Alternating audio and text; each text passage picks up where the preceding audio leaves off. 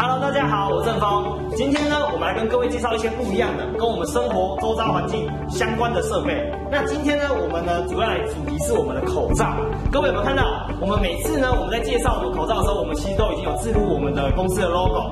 那今天我们就来教各位如何将我们的 logo 啊，或是文字啊，烫印到我们的口罩上面哦。首先呢，我们要先准备那口罩呢，基本上它面积不大，我们只需要准备我们小型的平烫机，以及我们 DTF 胶片，对，以及我们 DTF 胶片。那接下来呢，我呢就来教各位如何来烫印我们的口罩哦。好，那我们制作我们口罩呢，我们首先呢，第一步要先来我们 DTF 印表机来输出我们的胶片，我们只需选择好我们的图档，然后来做输出。那输出完成后呢，我们再到我们的 DTF 胶粉上面做上粉的动作。好，那我们已经输出了我们 DTF 胶片哦，那我们就来上我们 DTF 胶粉哦。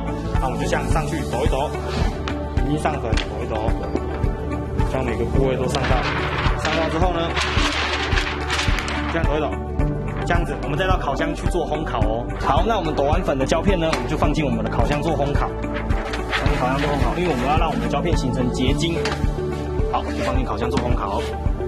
好，那我们刚才呢已经印完我们的胶片。那首先呢，我们先将胶片剪好，剪好我们要的图。那准备好口罩。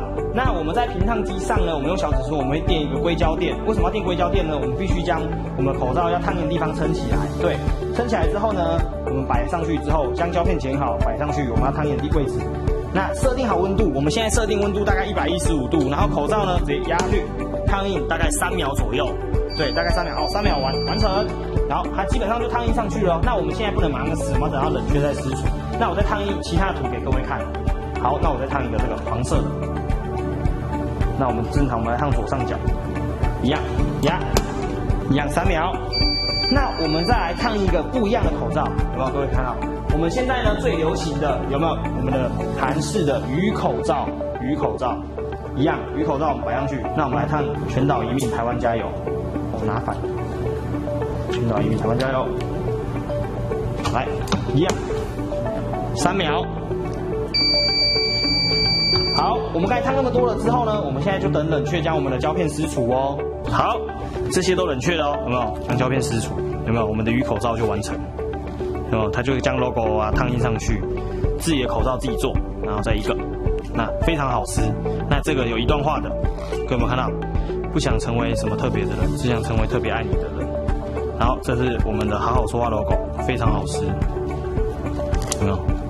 非常的细，独一无二的口罩。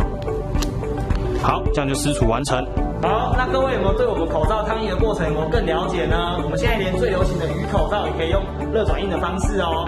想要了解做口罩的过程，赶快跟我们做联络哦。